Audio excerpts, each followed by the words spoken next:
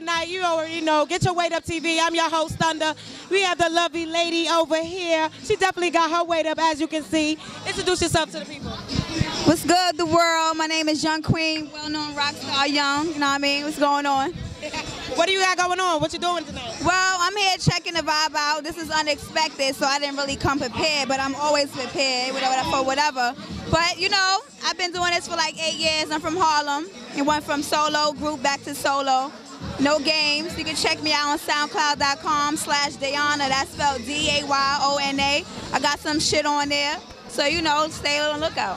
What can we be expecting from you in the near future?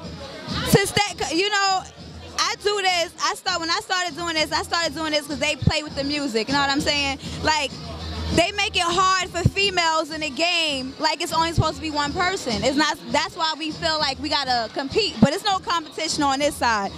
Cause the shit I got, especially my show performance, is crazy. But you know, when I, I give credit when it's due. So when I come out, people love me. Uh, most definitely. You have a Twitter, Facebook. How can we reach you? My Twitter, you can check me out at YG Queen Dayona. And you can catch me at my Facebook, Young Queen. Get your weight up, Not your hate up. not your hate up TV. Stay tuned.